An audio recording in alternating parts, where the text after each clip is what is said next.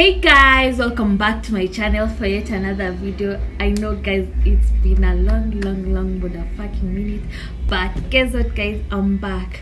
So on today's video guys it's a styling my knotless braids video. So let's get into the video. Sorry guys i have like foundation on my t-shirt but we move regardless. So let's get into the video so for the first style and also guys don't forget to like subscribe and also like subscribe and comment down below. So for the first style it's the high ponytail. This high ponytail that is the first hairstyle. For this style i like let loose two braids at the front and at the back i have a high ponytail and that is how it looks. Yeah guys i don't know i don't have i don't have a good setup but tunatumia chenye tuko nacho. So that is that is how it looks. And for the third hairstyle guys is it the hairstyle ama ni style? For the third style I, I have these braids at the front and I like tie them around my ear and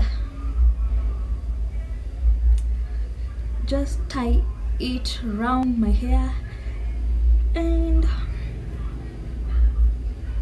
this is how it looks.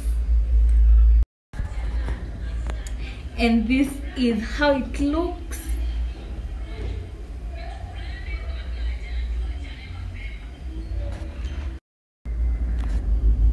also guys another style you can decide to let loose all the braids. And that is also a style that you can opt for. Just part at the middle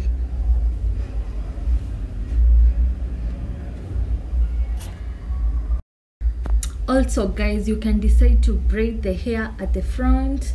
This is how it looks. Yeah two braids at the front and just let loose the hair at the back. This is how the back looks.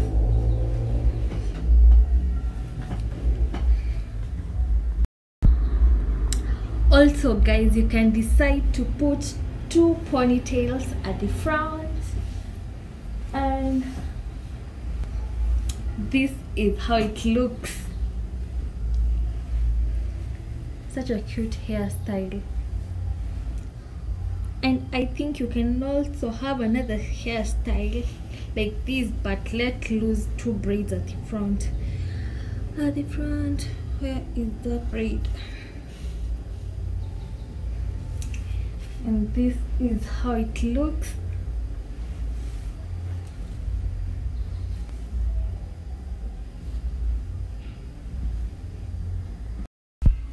so guys we've come to the end of today's video. Don't forget to like subscribe comment share. It helps to grow the channel. See you guys in my next video. Peace out